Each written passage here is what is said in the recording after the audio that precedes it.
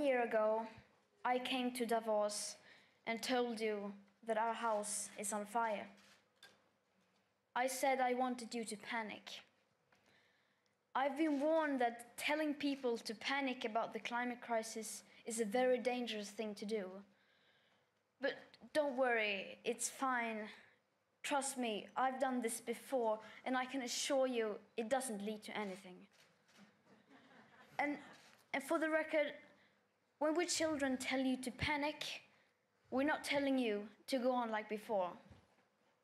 We're not telling you to rely on technologies that don't even exist today at scale and that science says perhaps never will.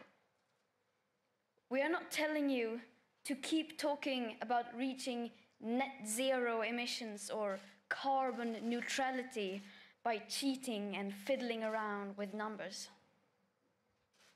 We're not telling you to offset your emissions by just paying someone else to plant trees in places like Africa, while at the same time forests like the Amazon are being slaughtered at an infinitely higher rate.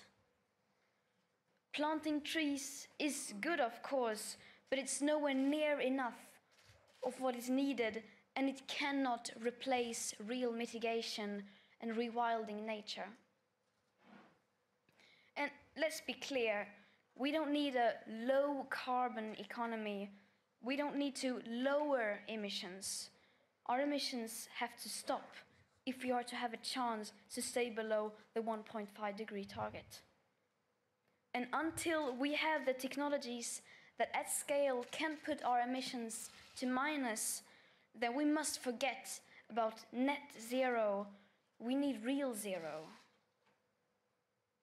because distant net zero emission targets will mean absolutely nothing if we just continue to ignore the carbon dioxide budget that applies for today, not distant future dates. If high emissions continue like now, even for a few years, that remaining budget will soon be completely used up. The fact that the USA is leaving the Paris Accord seemed to outrage and worry everyone, and it should. But the fact that we are all about to fail the commitments you signed up for in the Paris Agreement doesn't seem to bother the people in power even the least.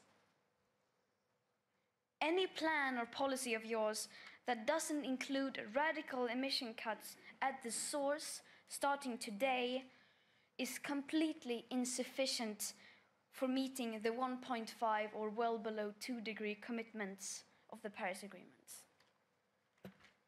And again, this is not about right or left.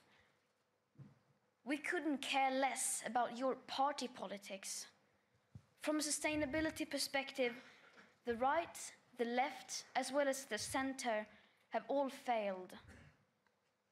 No political ideology or economic structure has been able to tackle the climate and environmental emergency and create a cohesive and sustainable world.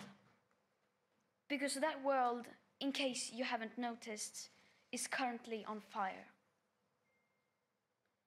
You say children shouldn't worry. You say, just leave this to us. We will fix this. We promise we won't let you down. Don't be so pessimistic. And then, nothing. Silence. Or something worse than silence. Empty words and promises which give the impression that sufficient action is being taken. All the solutions are obviously not available within today's societies nor do we have the time to wait for new technological solutions to become available to start drastically reducing our emissions. So, of course, the transition isn't going to be easy. It will be hard, and unless we start facing this now, together with all cards on the table, we won't be able to solve this in time. In the days running up to the 50th anniversary of the World Economic Forum, I joined a group of climate activists demanding that you, the world's most powerful and influential business and political leaders, begin to take the action needed. We demand at this year's World Economic Forum participants from all companies, banks, institutions, and governments immediately halt all investments in fossil fuel exploration and extraction, immediately end all fossil fuel subsidies, and immediately and completely divest from fossil fuels. We don't want these things done by 2050, 2030, or even 2021. We want this done now. It may seem like we are asking for a lot, and you will, of course, say that we are naive. But this is just the very minimum amount of effort that is needed to start the rapid sustainable transition. So either you do this, or you're going to have to explain to your children why you are giving up on the 1.5 degree target. Giving up without even trying. Well, I'm here to tell you that, unlike you, my generation will not give up without a fight. The facts are clear, but they are still too uncomfortable for you to address. You just leave it because you think it's too depressing and people will give up. But people will not give up. You are the ones who are giving up. Last week, I met with Polish coal miners who lost their jobs because their mine was closed. And even they had not given up. On the contrary, they seem to understand the fact that we need to change more than you do.